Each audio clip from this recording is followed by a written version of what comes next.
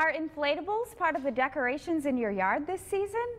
If so, you want to make sure you know how to safely put them up. Absolutely. We've got Mike Hesler with Home Depot here to show us more this morning. How you doing, Mike?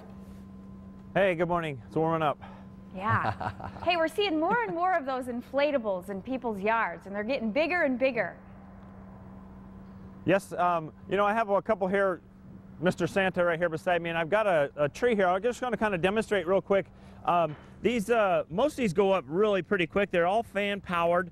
Um, this one, this little tree right here uh, next to Santa, uh, blows right up. It, you know, probably 30 seconds or so. Once you get them up, you can kind of adjust them around and get them set up so that you want to stake them down. Um, you know, yesterday was a pretty windy day. Some of these guys take a pretty good beating on a windy day.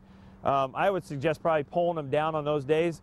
Uh, but a day like today where the breeze is not horrible, you know, that guy just pops right up and then you can kind of play the wind a little bit. And then, you know, they come with uh, stakes and strings uh, to kind of keep them into place.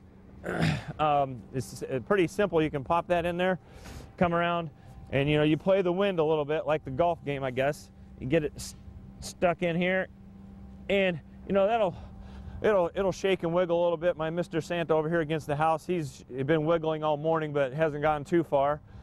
um, so I mean, it's they're pretty easy.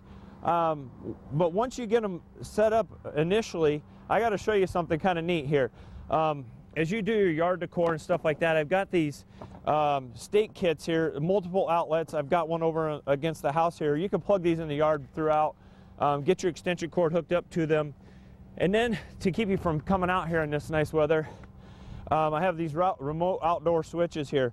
So what this is, is you plug this into your multi-outlet. You can plug your inflatables up here, your lights, whatever you have. Once you get those set up, um, you can stand at the front window, don't open the door. You got on-off switch, turn your inflatables on, turn them off.